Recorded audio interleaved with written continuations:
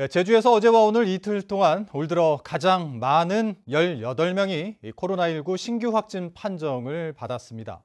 합숙 훈련을 하던 모 대학교 선수단 7명이 집단 감염됐고 제주 시 내 학원 강사도 확진돼 방역에 비상이 걸렸습니다. 박주영 기자입니다.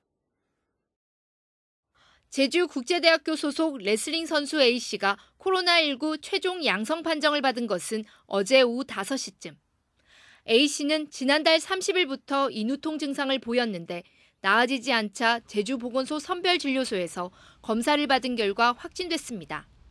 A씨는 동료 선수 17명과 제주 시내 모처에서 합숙훈련을 실시 중이었고 함께 훈련하던 선수 6명도 오늘 양성 판정을 받았습니다. 나머지 11명은 음성으로 확인돼 격리 조치됐습니다. 뭐 컨디션이 안 좋다고 해서 쉬고 있다가 이제 그날 받은 거거든요. 훈련을 따로 나온 게 아니라 같이 타는 친구들 중에 그 친구들만 걸렸다고. 학원가도 비상이 걸렸습니다. 학원 강사 B 씨는 가족이 코로나19에 확진됐다는 소식을 받고 진단 검사를 실시해 확진 판정을 받았는데 B 씨와 접촉한 지인도 무증상 양성 판정을 받았습니다. B 씨의 수업을 들었던 노영준과 한라중 등 제주 시 내 중학교 4곳의 학생 26명과 동료 강사 5명 등 31명은 진단검사를 받아 자가격리 됐고 해당 학원은 임시 폐쇄 조치됐습니다.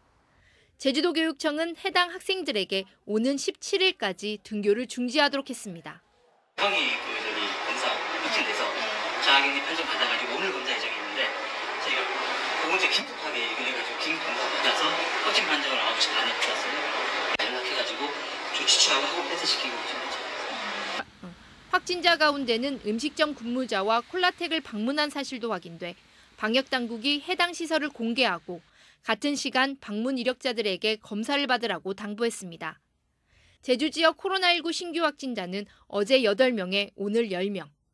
지난 1월 이후 넉 달 만에 제주에서 하루 10명 이상의 확진자가 나오면서 행사와 이동이 많은 5월을 맞아 방역 당국의 긴장이 커지고 있습니다. MBC 뉴스 박주연입니다.